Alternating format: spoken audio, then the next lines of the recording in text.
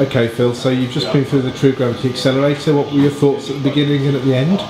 Um, before I started the True Gravity, I actually thought I had a, a quite a, a structured uh, approach to my, my networking.